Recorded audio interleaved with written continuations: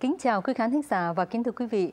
Tuần qua thì quý vị cũng đã biết là nguyên thủ của Hoa Kỳ và Trung Cộng đã có hai ngày họp mặt vào ngày thứ Sáu và thứ Bảy trong một trang trại ở Rancho Mirage của miền Nam California. Và lần trước cách đây 15 tháng thì ông Tập Cận Bình cũng đã gặp Tổng thống Barack Obama tại thủ đô Hoa Kỳ vào tháng 2, nhưng chỉ với cương vị là Phó Chủ tịch.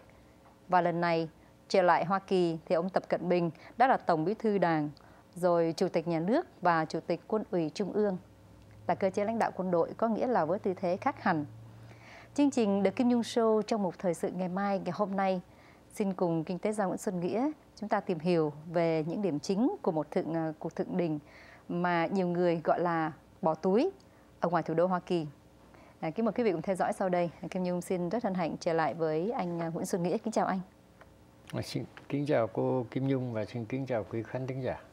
À, thưa với anh, à, hiểu nhiên là cuộc họp thượng đỉnh à, giữa hai à, nhà lãnh đạo của hai nền kinh tế lớn à, bao gồm các đề mục song phương giữa hai nước và các hồ sơ đa phương thuộc khu vực Á Châu Thái Bình Dương, trong đó có cả Việt Nam và những vấn đề của thế giới như là phủ tổng thống Mỹ cũng đã có thông báo từ tháng trước.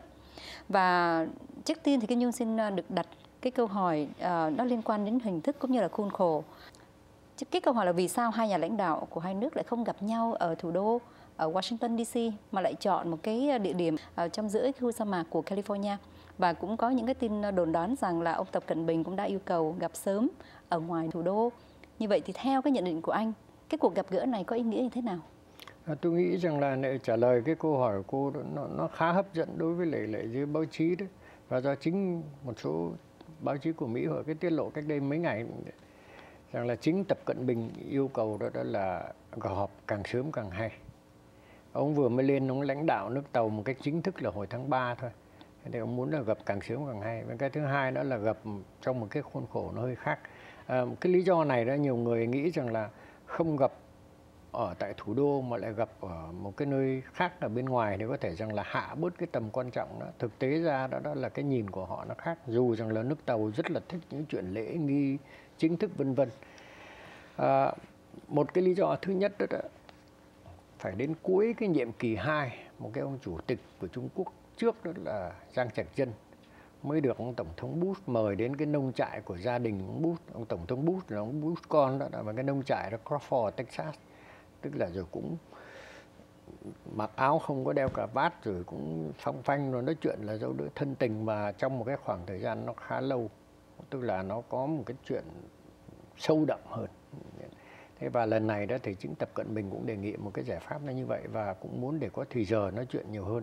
À, cái lý do dễ hiểu đó, đó là nếu mà ở tại thủ đô đó thì có thể rằng là gặp nhau buổi sáng đến trưa ăn trưa xong đó, đó thì hoặc là tiếp xúc với báo chí trong cùng lắm buổi tối thì có dạ yến quốc yến ăn và nó có tính chất lễ nghi. Trong khi đó là họ muốn có đi nhiều thời giờ hơn và phía tập cận bình thì nêu lên cái lý do mà như là ông đã trình bày ở tại trong cái chuyến đi Moscow từ hồi tháng 3 lúc vừa mới lên đó thì ông muốn rằng là đưa ra một cái hình thái bang giao khác giữa các cái cường quốc lớn trên thế giới, ngụ ý rằng là Hoa Kỳ và Trung Quốc chẳng hạn. Và họ cũng nhấn mạnh đến cái đó đó là cái nguyên tắc dựa trên cơ sở cái chuyện phải bình đẳng với nhau và phải đôi bên đều cùng có lợi tức là cái mà họ gọi dùng cái chữ gọi là song doanh theo cái chữ của tàu đó đó. Và nó có cái tính chất mà gọi là hỗ lợi và hỗ hội, tức là phải thảo luận với nhau, tức là đưa ra một vài ba nguyên tắc như vậy đó cho nó nó có cái tính chất hình thức xã giao. Và bên phía tổng thống mỹ thì ông cũng nói rằng là ông cũng muốn đưa ra một cái mô hình quan hệ giữa các cái gọi là cường quốc lớn trên thế giới như là ông tuyên bố trong cái buổi mà họp báo sau cái sau cái lần gặp gỡ đầu tiên mà hôm chiều thứ sáu đó thì tôi nghĩ rằng là tất cả mọi chuyện đó, đó nó vẫn chỉ là cái phần trình diễn thôi. Và trong một hai ngày làm việc đó, đó thì đương nhiên đó, đó là họ không có thể giải quyết hết được gần đi vấn đề. Nhưng mà ít ra là hai người đó đó là tìm hiểu lẫn nhau nói theo ngôn ngữ giang hồ của Việt Nam mình đó là coi cẳng coi giò lẫn nhau xem xem rằng là có tâm đầu ý hợp hay không hoặc là có được những cái một cái thứ chemistry có một cái gì đó có thể lại giao tiếp với nhau được chemistry không? Uh-huh. Vâng. À, thưa với anh, bây giờ thì Kim Nhung xin à, đi vào từng cái mục uh, trong cái buổi nói chuyện ngày hôm nay để tìm hiểu thêm uh, về cái thượng đỉnh của lãnh đạo uh, Mỹ và Hoa. Và trước hết là về hồ sơ kinh tế, đây cũng là một cái à, chuyên à, lĩnh vực và chuyên môn của anh. Thì à, thưa anh, sau cái vụ 4 năm tổng suy trầm từ 2008-2009, thì cho đến nay thì Hoa Kỳ cũng đã hồi phục nền kinh tế kể từ đầu năm nay. Nhưng mà ngược lại thì nền kinh tế của Trung Quốc thì lại có vẻ trì trệ sau khi họ ảo ạt bơm tiền vào để mà kích thích kinh tế vào cuối năm 2008. À, cái thế hệ của Chủ tịch Tập Cận Bình cũng như là Thủ tướng Lý Khắc Cường lên lãnh đạo từ cái à, đại hội sau đại hội 18 bây giờ đang phải cải tổ lại toàn bộ cái cấu trúc kinh tế xã hội. À, trong khi hai lãnh tụ Mỹ và Hoa nói đến việc tăng cường phát triển kinh tế toàn cầu. Như vậy thì thưa anh chuyện ấy có nghĩa là gì? Dạ, thứ nhất đó, đó là đúng là lãnh đạo của Trung Quốc mới lên trong cái thế hệ thứ năm đó, đó đều có nói đến chuyện đó là phải chuyển hướng về phải cải tổ cơ cấu của họ từ phẩm sang lượng vân vân số chuyện đó ngay trong hồi tháng 3 lúc mà dự cái hội nghị G20 đó, đó thì chính ông Tập Cận Bình ông cũng có nói đến chuyện đó, đó là trong chuyện cải tổ đó là có thể giải tỏa được cả cái chế độ gọi là kiểm soát hối đoái đó, đó tức là cứ giàng giá cái đồng nhân dân tệ tức là đồng nguyên của họ và đồng đô la đó chẳng hạn. Thì lúc đó là ông Obama cũng có vẻ khen ngợi mừng rỡ chuyện đó. Tức là nước Mỹ đó, đó là tương kế tự kế. Khi thấy lãnh đạo Trung Quốc nói đến chuyện có nhu cầu cải tổ, đó là thì nước Mỹ cũng nói rằng là ừ thì chúng tôi cũng sẵn sàng, cũng nếu mà cần, đó là hợp tác với nhau để giúp quý vị cải tổ. Là tại vì hai cái nền kinh tế đứng đầu thế giới giống như là họ đã trình bày với nhau ngay từ lúc vừa mới tiếp xúc buổi chiều hôm thứ sáu đó. À, vừa mới tiếp xúc lúc đầu nói chuyện báo chí là hai nền kinh tế trên thế giới phải tìm cách hợp tác với nhau và cái điều đó là nó có lợi cho kinh tế của toàn cầu. Đó là cái, những cái câu đó tức là họ không những rằng là họ chỉ có giải quyết vấn đề song phương giữa hai nước với nhau mà lại còn muốn rằng là qua cái chuyện đó có thể là cải thiện được cái hoàn cảnh sinh hoạt của các quốc gia khác ở trên thế giới nữa thưa cô. À, vâng. là một cái có tham vọng khá lớn. Vâng. Um, trong khi lãnh đạo Hoa Kỳ ờ, thì lại muốn Trung Cộng cải cách cái cơ chế kinh tế và lãnh đạo Bắc Kinh thì cũng cũng đã nói như vậy. Nhưng mà cái vấn đề ở đây là họ có thực tâm hay không và cái hiệp định ờ, xuyên Thái Bình Dương TPP đó là Trans-Pacific Partnership thì có phải là cái cơ hội hay chăng? Vì trước đây ờ, từ năm 2008 cho đến đầu năm nay thì ờ, sáng kiến này cái sáng kiến TPP có cái đặc điểm đó là hội nhập một số quốc gia trên cái vành cung Thái Bình Dương và đó là từ Á Châu qua Tây Bán Cầu mà không có Trung Cộng. À, bây giờ thì lãnh đạo Bắc Kinh lại ngỏ ý tham gia và Hoa Kỳ thì họ không từ chối. À, vì vậy à, anh có thể nói về cái à, TPP và lệnh hình thành cũng như là mục tiêu chiến lược kinh tế của nó thưa anh. À, vâng. Và cái đó nó cũng là cái bối cảnh nó dẫn đến cái thượng đỉnh uh, cái tuần vừa rồi đó. Tức là trước đây có bốn nước của vùng Á Châu thì tức là có Singapore, sau đó có Brunei, rồi có New Zealand ở phía miền Nam. À, thì với lại Chile ở tại vùng cũng là một cái nước Thái Bình Dương nhưng mà bên phía Nam Mỹ bốn nước đó, đó, đó là, là mở ra một cái hệ thống gọi là tự do mậu dịch giữa bốn nước với nhau, năm 2005 bắt đầu vận hành 2006 thì đến 2008 thời của ông tổng thống Bush Bush con đó đó. Thì nhìn thấy vậy bảo cho chúng tôi tham dự được không? Thì lúc đó đó đó là cũng có bốn nước khác cũng tham dự luôn. Và trong đó thì thành ra, nó thành ra là chín nước cả thầy. Tức là từ 2008 sau đó đó là có thêm ba nước, có Canada, có Mexico và mới nhất bây giờ đó, đó là còn có cả thêm Nhật Bản nó cũng muốn xin tham dự chuyện đó.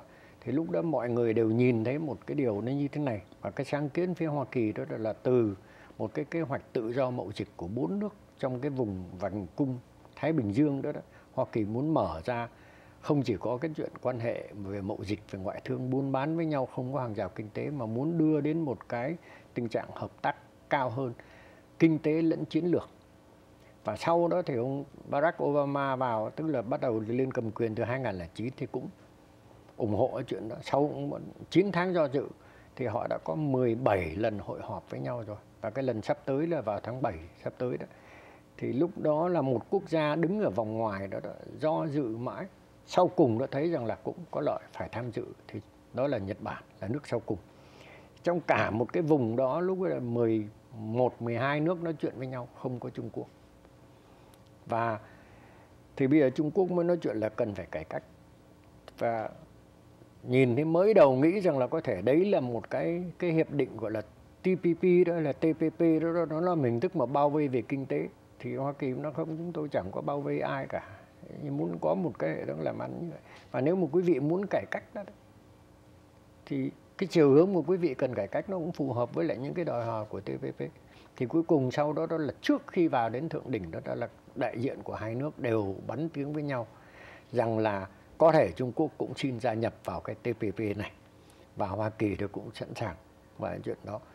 Thì chúng ta hiểu được rằng là ngoài khía cạnh kinh tế ra của cái chuyện mà trao đổi 11.000 cái điều kiện về mậu dịch đó, đó phải giải quyết 26 cái hồ sơ phải giải tỏa hệ thống bên trong mà trong đó thí dụ như là hệ thống quốc doanh đó, đó là phải bung nó ra hoặc là phải không có cái phải tôn trọng cái bảo vệ cái tác quyền chẳng hạn tức là toàn là những cái đòi hỏi mà khiến cho Trung Quốc đó đó thứ nhất phải tôn trọng nếu mà anh muốn cải cách thì em phải tôn trọng mà nếu mà anh tôn trọng cái đó đó thì anh không còn duy trì được cái hệ thống kinh tế chính trị hiện nay của anh nữa. À, vâng. À, khi mà nhắc đến cái sáng kiến xuyên thái bình dương TPP đó thì à, người ta cũng chú ý đến cái việc mà trước khi đặt chân tới California và ăn tối với tổng thống uh, Hoa Kỳ đó thì ông chủ tịch uh, Trung Cộng Tập Cận Bình cũng đã ghé thăm quốc gia Trung Nam Mỹ mà giới quan sát thì cho là uh, sân sâu hay là cái vùng ảnh hưởng của Hoa Kỳ nhưng mà Kim Nhung sẽ trở lại câu hỏi này với anh uh, sau một vài thông tin thương mại. Xin à, à, cảm ơn anh. Kim Nhung sẽ trở lại ngay sau một vài thông tin thương mại tiếp tục gửi tới quý vị trong một thời sự ngày mai với kinh tế gia Nguyễn Xuân Nghĩa.